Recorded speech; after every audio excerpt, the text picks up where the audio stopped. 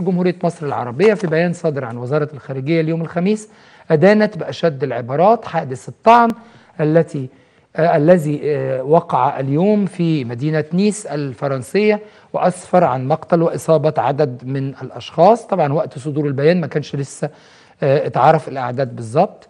وأعربت مصر عن خالص تعازيها لأسر الضحايا وتمنياتها بسرعة الشفاء للمصابين وأكدت على وقوفها حكومة وشعبا مع حكومة وشعب جمهورية فرنسا في مواجهة هذا الحادث البغيض. أضاف البيان أن مصر تستهجن بشدة وترفض هذه الحوادث الإرهابية لأنها تشدد وتتنافى كلية مع الفطرة الإنسانية وتعاليم كل الأديان السماوية.